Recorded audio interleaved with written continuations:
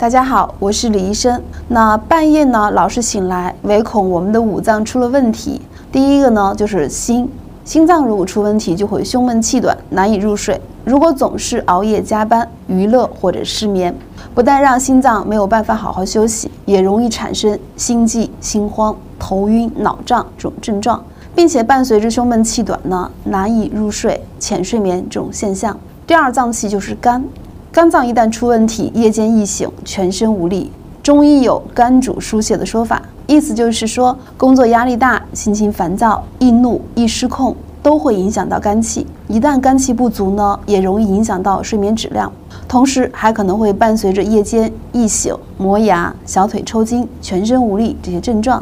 第三呢，就是脾，一旦脾出现问题呢，就会出现腹胀、腹痛、时醒时睡等等。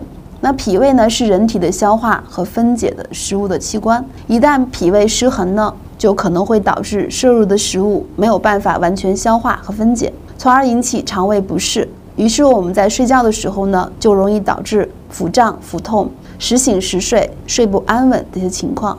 那当一旦出现的肺呢，它就会出现咳嗽、起夜这种症状。凌晨三点到五点是肺经的运行时间，如果肺火过旺。在夜间就会出现咳嗽、起夜、盗汗、浅睡眠这种现象，当然也可能是肺部积累的毒素过多。建议是做好清肺的工作，可以多吃胡萝卜、梨、木耳、蜂蜜、葡萄、豆浆等等。那一旦出现到肾脏呢，就会出现失眠、多梦等等。如果经常难以入睡，甚至到凌晨三点、五点左右还处于清醒、睡不着的状态，即使是睡着呢，也总是做梦。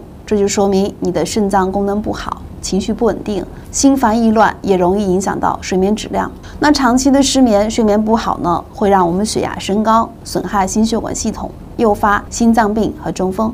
此外呢，百分之五十的抑郁症的元凶呢，其实也是失眠。解决失眠，刻不容缓。